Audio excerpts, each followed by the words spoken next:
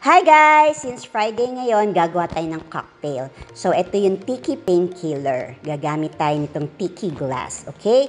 So, meron ako ditong orange segments. Ayan, ilalagay ko lang dito sa baso.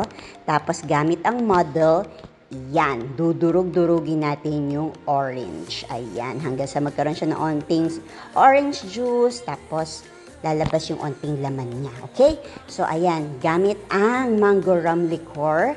Ayan, salamat kay Ami, bigay niya to sa akin. So, two shots nito. Pagkatapos, ilalagay natin siya dyan. Rum ito, no?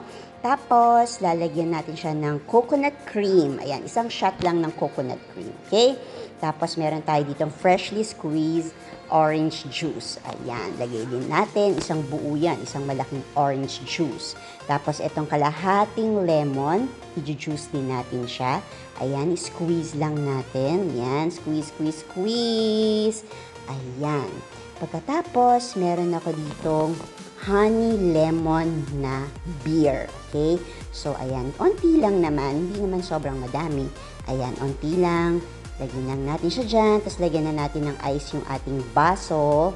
Ayan. Tapos, mag-shake, shake, shake na natin yung ating ginawa ng mixture. Ayan. Tapos, ilagay na natin sa ating baso. Ayan. Napakaganda ng kulay niya. Okay? So, ayan. Iga-garnish lang natin siya ng orange. At pagkatapos, ilagay na natin ang ating straw.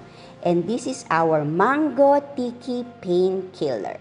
Ayan, enjoy ninyo ang weekend. Bye!